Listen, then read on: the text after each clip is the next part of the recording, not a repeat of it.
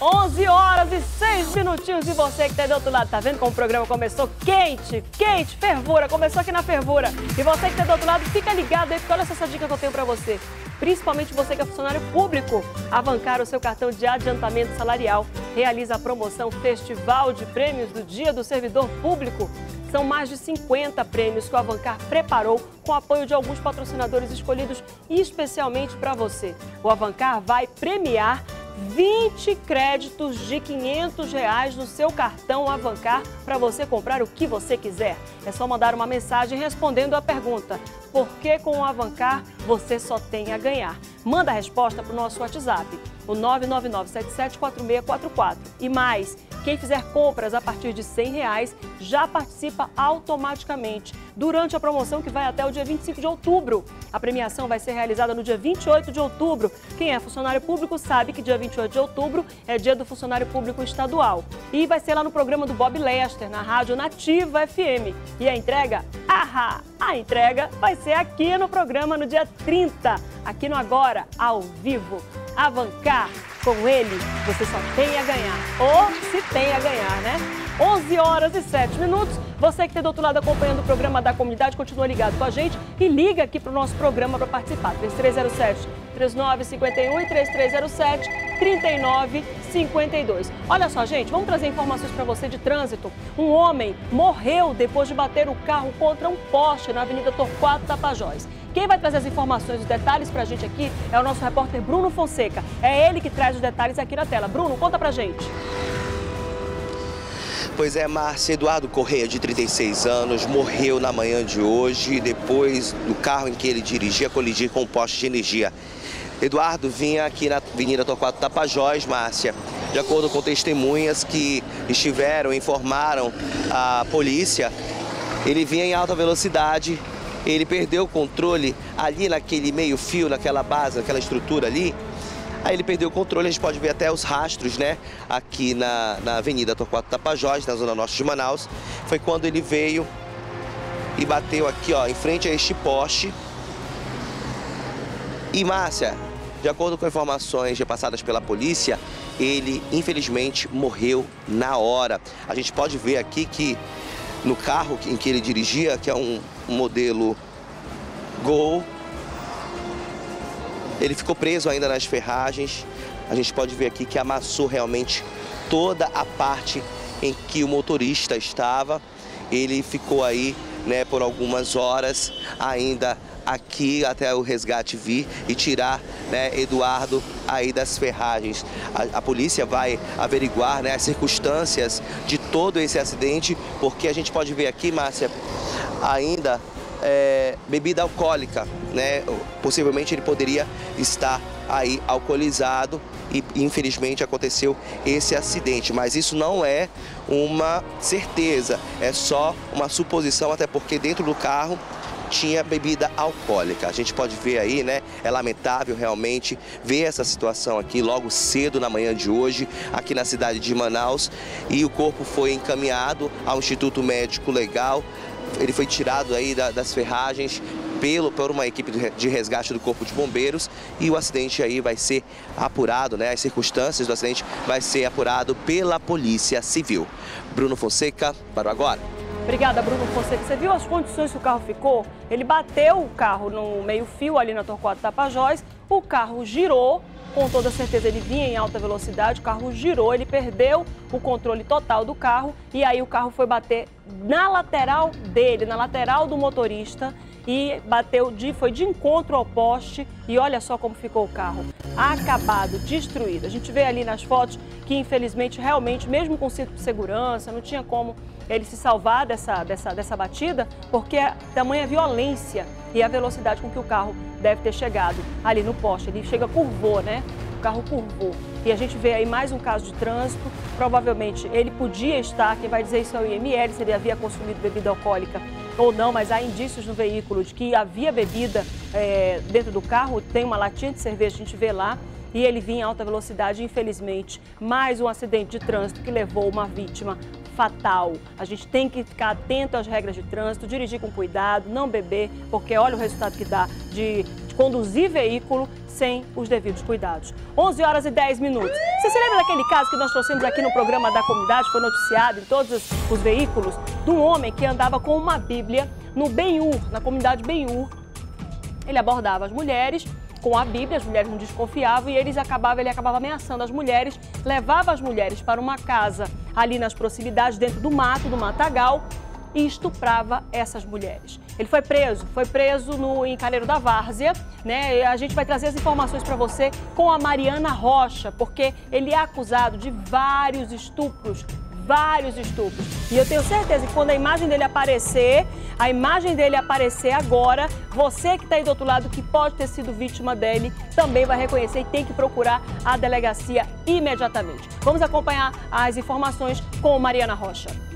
É isso mesmo, Dene Vieira da Silva, de 30 anos de idade, já era bem conhecido dos moradores lá do conjunto Benhur, no bairro Cidade de Deus, zona norte de Manaus principalmente pelas mulheres. Isso porque ele andava pelas ruas do conjunto com uma Bíblia nas mãos, pregando o evangelho, e dentro dessa Bíblia tinha uma arma. Na verdade, ele se passava por pregador do evangelho e abordava mulheres para estuprá-las e roubá-las. Várias vítimas registraram boletim de ocorrência contra ele, que já era procurado pela polícia desde o dia 16 de setembro.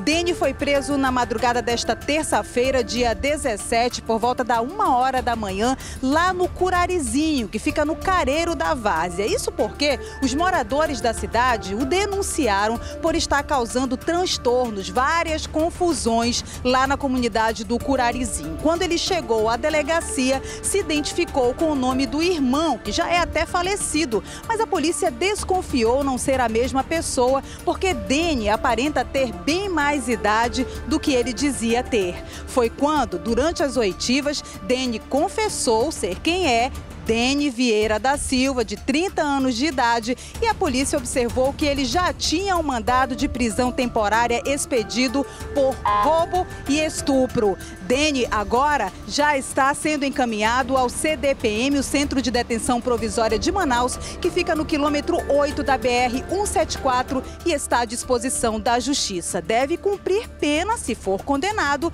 por estupro e roubo. Eu volto com você no estúdio. Uma tristeza isso, viu, gente? Olha, uma tristeza. E você viu aí as imagens desse homem. Infelizmente, ele abordou várias mulheres. É um homem que é casado, tem filhos e a gente vê uma conduta dessa planejada, né, repetida. Não foi um caso do tipo, ah, eu não sabia o que eu estava fazendo, por que eu fui fazer isso? Não, ele sabia e fez várias mulheres vítimas. Várias mulheres foram vítimas, usando esse golpe baixo, né? se dizendo aí, se dizendo que era pastor, dizendo que tinha ali uma Bíblia, né, para não levantar suspeita, usando da confiança da mulher na religião para poder abordá-la e ser tão baixo e tão cruel. Esse homem que você está vendo a imagem, esse homem que você está vendo a imagem abordou várias mulheres, ele fez várias vítimas Várias vítimas foram vítimas dele e ele é casado e tem filhos. É uma tristeza isso, viu, minha gente? É uma tristeza. Mas, enfim, cada um dá o que tem até aprender a dar o melhor de si. Não é assim que funciona? Cada um dá o que tem até aprender a dar o melhor de si. Hoje nós temos agora premiado, vamos mudar de ideia, vamos mudar de assunto aqui, né? Vamos falar de coisa boa, porque o programa hoje está alegre. Hoje é quinta-feira, tem muita coisa boa ainda rolando por aqui. Nós temos o nosso Agora é nosso Hoje tem Agora é Festa também, tem o Kevin Castro, que agora é festa na segunda-feira. E temos o nosso Agora premiado com as cestas ótimo. Muito fácil participar, presta atenção você que tem do outro lado, tá? Ligar 3307-3950, quando eu disser alô, você não vai dizer alô, você vai dizer economia com qualidade somente nas cestas ótimo. O quê? Repita! Economia com qualidade. Beijo para vocês. Vocês, oh meu Deus. Economia com qualidade somente nas cestas. Ótimo. Nessa super sexta de hoje que você está acompanhando aí, viu? Então fica ligado você que está aí do outro lado acompanhando o programa da comunidade e liga porque são três tipos de cesta. Tem a cesta ouro, tem a cesta prata, tem a cesta bronze. Atende também no interior do estado, aqui na capital. Aceita todos os cartões, você pode ter cartão de crédito, de débito, vale refeição quem tem Avancar tem 5% de desconto. Faz a sua encomenda, liga para lá. Não precisa ir para supermercado não, viu? Não tem que ir para supermercado não. Você pode ir lá fazer a sua encomenda pelo WhatsApp Aqui em Manaus entrega em qualquer lugar, a entrega é gratuita. No interior do estado tem que combinar direitinho como é que vai ser essa entrega, tá bom? Então você que está do outro lado, fica ligado aí, não deixe de participar e ligar para 3307 3950. Olha só o que, que vai ter também, gente, olha. Chegou a hora da verdade, etapa final da arrancada 2017. Para quem é que eu mostro aqui? Olha aí, ó. Olha aí, você que está acompanhando aqui, vai ser dia 21 e 22 de outubro. 21 e 22 de outubro começa às 10 horas da manhã e a gente já está aqui, olha, recebendo os fanáticos por carro, quem é doido por carro, pode acompanhar essa super arrancada e a final vai ser dia 21 e 22 de outubro a partir das 10 horas da manhã. Tudo bem? Tudo bem, Márcia? Tudo bem? Tudo Como é que estão as coisas? Como é que tá? Expectativa imensa, né? Que é a nossa última etapa do Campeonato Amazonense de Arrancada, é um dos principais campeonatos do país. É, o Amazonas Dragway está entre as duas melhores pistas do Brasil, né? Pistas de 402 metros de, de arrancada. Que show, né, Rafael? O Rafael está aqui conversando com a gente, o Pepe também vai falar um pouquinho pra gente. Campeonato Amazonense de Arrancada. Dá muita gente? Bastante, Lota, o público é né? grande, o pessoal de Manaus bem animado, os carros muito bem preparados. Aliás, Manaus é referência com, com vários recordes nacionais em algumas categorias. Então, para você que não tem nada marcado no final de semana, com certeza já pode marcar na sua agenda que o seu compromisso é na pista do Amazonas Dragway lá em Iranduba. Eu tenho certeza que quem tem alguma coisa marcada na agenda vai cancelar. Quem é louco por carro fanático vai cancelar para ir para lá. Com certeza, né? super final do, de um dos maiores campeonatos de arrancadas do Brasil contemplando aí o povo do Amazonas com essa grande festa. Você que tinha um compromisso, é então a partir de agora seu compromisso está desmarcado para que você possa estar conosco esse final de semana. Nós temos cinco pares de ingressos aqui para você que é telespectador do programa e quer participar. Diretor, como é que vai funcionar? No WhatsApp? Manda no WhatsApp, eu quero ir para o Campeonato Amazonense de Arrancada, tá? Nós temos aqui cinco pares, a gente vai sortear um par por cada pessoa que disser por que quer ir. O diretor vai escolher qual é a melhor frase, qual é o melhor motivo aí, tá? Pode dizer, olha, eu cancelei, cancelei o casamento para poder ir para lá pro festival. Né, Rafael? Ah, com certeza. Além das atividades de pista com, pois é, o que, que tu vai ter prova, lá, né? A gente também vai ter uma competição dos rebaixados no domingo, que acontece na programação do domingo, uhum. o encontro de carros antigos e outras atividades lá durante todo o dia. Muito legal que o Amazonas Dragway oferece completa infraestrutura com estacionamento, alimentação. Tem praça de alimentação, tem, tem praça de alimentação. Lá, né? Aliás, um dos melhores, uma das melhores praças de alimentação de autódromo do Brasil. Do com Brasil. um restaurante fantástico. Com restaurante, com, com lanchonetes, né, com com o pessoal local e também outro detalhe super importante, a arquibancada do Amazonas Dragway é coberta. Né? A gente sabe da dificuldade é... do sol, muito calor. Calor mas... e às vezes chove do nada com também, Com certeza. Né? Então, assim, a arquibancada é coberta, então é uma, uma infraestrutura invejável com relação às pistas de arrancada de todo o país. E é o dia todo? Começa às 10 da manhã, vai até que horas? Às 10 da manhã e nós vamos com programação corrida até às 18 horas. Até 6 horas da até tarde. Da é um evento para toda a família, tem play para as crianças. Tem algumas atividades para as crianças, inclusive eh, tem algumas áreas lá que as crianças também levam brinquedos, bola de futebol, fica à vontade. Fica à vontade. É um ambiente bem familiar. Porque hoje em dia os pais já ficam lá, meu Deus, eu tenho que levar a mulher, porque é fim de semana, né? Com certeza. Aí tem que ir com a família toda. Vai botar a criançada onde? Tem lugar para botar a criançada para jogar futebol, para curtir também. Crianças né? até 10 anos não pagam ingresso, Márcia. Olha aí, ó, até 10 anos não pagam ingresso. Quem, quem for mais, quem tem mais de 10 anos, pode contar e ligar aqui pro nosso WhatsApp, mandar mensagem pro nosso WhatsApp. Rafael convida de novo todo mundo. Rafael ou Pepe, né? Os dois podem convidar todo mundo ali na câmera do, do Vou Natal. deixar com o Pepe, que o Pepe Vai, narra Pepe. as principais ali, provas Pepe, do país. Convida. Vamos lá então, pessoal, que esse final de semana estará por aqui. Não só o pessoal de Manaus, nós vemos que muitas pessoas, inclusive no hotel que nós ficamos, muita gente de fora pode participar conosco na estrada é, do Iranduba, né, Rafa? No quilômetro... Seis e meio. Seis e meio, você está convidado a curtir é, é, combates... É do lado esquerdo, né?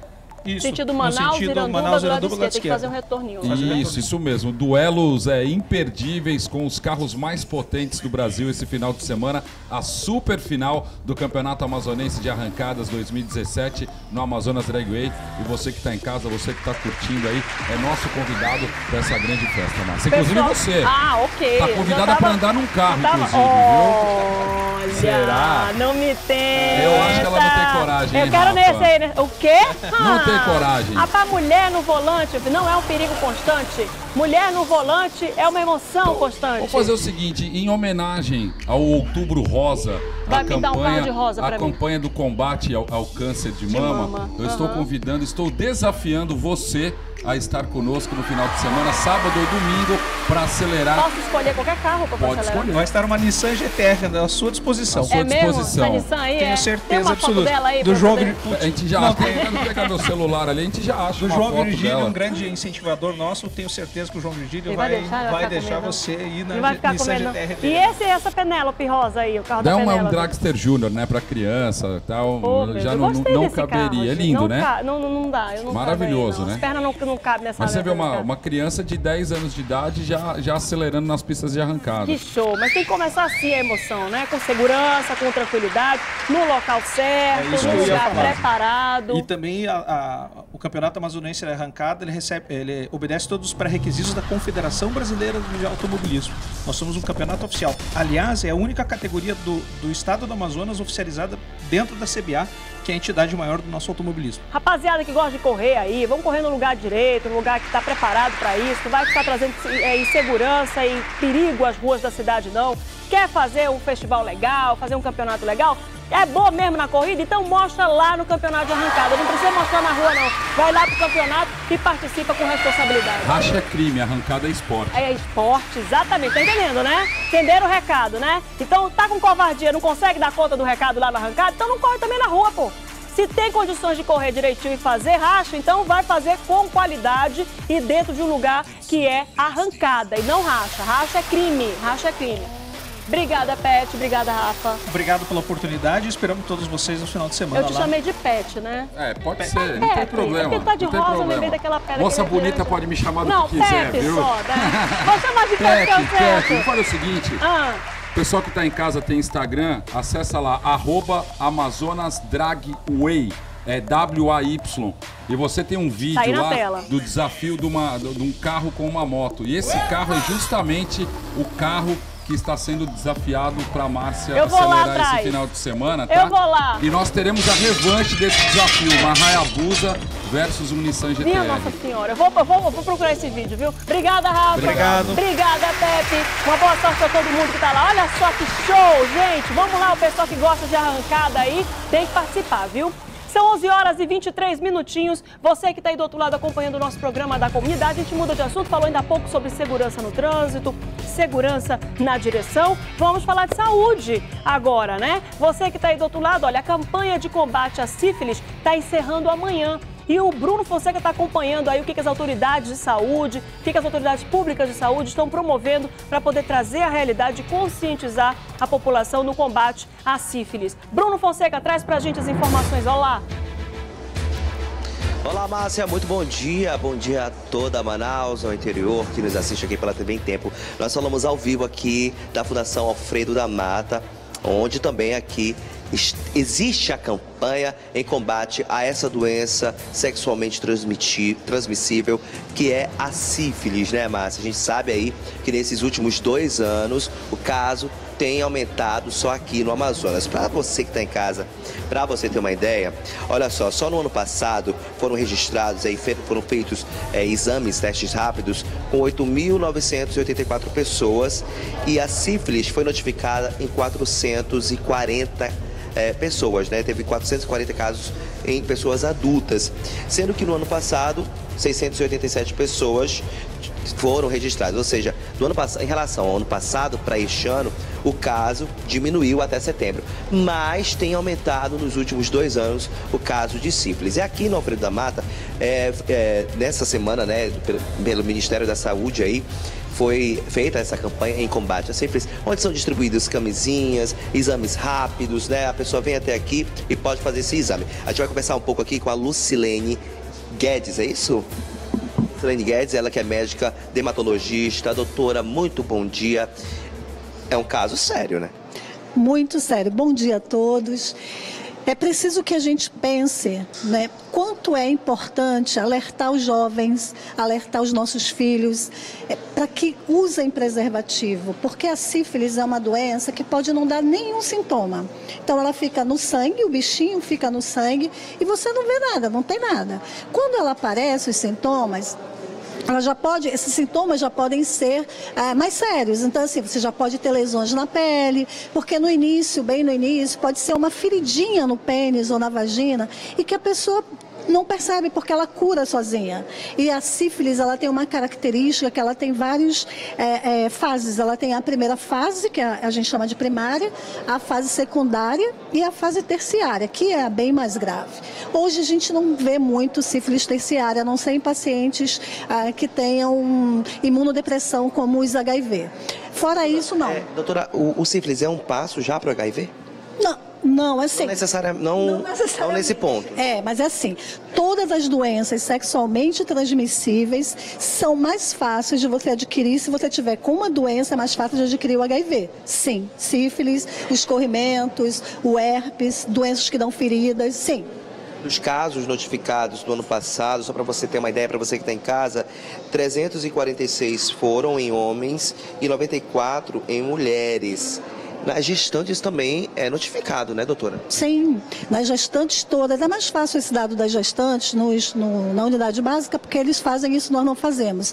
Aqui a gente notifica menos mulheres gestantes, mas é grave nas gestantes porque a grávida passa para o filho, se ela não sabe que tem, se ela não tratou a, a, a tempo. E o bebê pode nascer já com sífilis, com doenças, e, e que dá doenças mais sérias, né? Dá sintomas e, e e, e, bem mais sério do que um bebê, é, uma mãe que trata uma sífilis antes de aparecer esses sintomas, né? Olha, então fica bem claro aqui para você que está em casa hoje nessa quinta-feira, curtindo o programa agora, o programa que leva aí a notícia, leva também o entretenimento.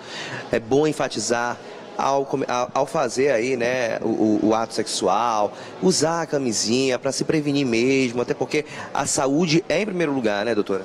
É, só tem essa maneira é, de prevenção, que é o uso do preservativo. Então, assim, os meninos e as meninas, os adolescentes, os jovens, porque assim, também o número mais, o mais frequente é na idade jovem, né? É de 24 a 30 anos, é, são os, os pacientes, são as pessoas que mais adquirem as doenças sexualmente transmissíveis, entre elas a sífilis. Olha, para deixar claro também para você que está em casa, aqui no Alfredo da Mata, na Cachoeirinha, dá o um endereço aqui, doutora.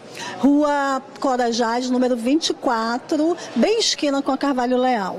Você pode vir aqui, pode fazer o seu exame rapidinho. É lá dentro, a gente vai conseguir mostrar já já.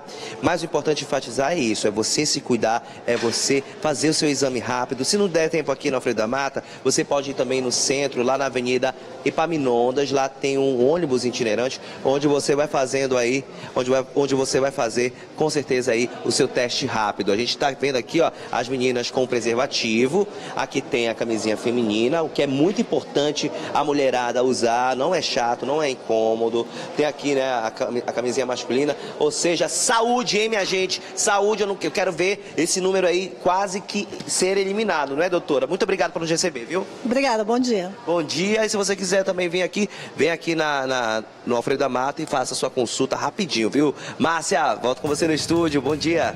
Obrigada, Bruninho. Bom dia. Gente, olha só, deixa eu dizer uma coisa que eu vou chamar o intervalo rapidamente, que o diretor já está ali, olha, no, no meu encalço, igual cachorro bravo. Jovens, sexo é bom, ainda mais quando vocês descobrem aí e tal, e acontece aquelas coisas, é legal. Só que tem outras coisas também boas. É bom ir pro cinema, é bom beijar na boca, é bom abraçar. E se o seu parceiro não está querendo isso, só quer ficar lá fazendo sexo e ir embora, repense o seu relacionamento. Negócio de ficar só, vou pra festa, vou dar, vou sei o quê, vou dar, vou fazer, vou fazer. Vou... Não, tem, tem que pensar direitinho quem são as pessoas que andam com você, de onde aquela pessoa saiu, o que aquela pessoa está fazendo, com quem aquela pessoa estava antes de você, se aquela pessoa é segura. Para com essa ideia de achar que sexo é o último biscoito do pacote, não é não. Tem cinema, tem filme, tem cultura, tem teatro, passear de mão dada é bom, abraçar a pessoa é bom. Então, vamos lá, vamos pensar direitinho, porque os meninos estão aí achando, não, faço, mano, faço é muito, mas a pessoa faz com o marido, né? Agora até achei o cabra legal pra mim, né? E aí a pessoa só faz com um. Agora, quem tá na vida, livre aí pra voar e tudo, tem que ter critério. Critério. Não fica aí fazendo a qualquer coisa, de qualquer jeito, como se fosse a rodo, não. Pra você é, se arrepender. HIV é pra vida inteira. E esse negócio do cara chegar contigo, tu acabou de conhecer numa festa, tá bom, quer? Negócio lá coçou, né? Quer fazer? Vai fazer. Mas vira para ele e diz assim: se não tiver camisinha, eu não vou fazer. Porque HIV é para a vida inteira. E esse né, sífilis, gonorreia, herpes, tudo isso é doença que é para a vida é para vida inteira. E se você teve sífilis, você tem cura. Mas olha só o transtorno que é tratar de sífilis. Então vamos ter consciência, vira pro cara e fala: se não tiver camisinha, meu nobre, não vou fazer não. Ah, mas é mais gostoso sem camisinha. Não me interessa, mais gostoso é eu ter minha vida com saúde. Isso é que é gostoso. 11h31, vamos pro intervalo, daqui a pouco a gente volta.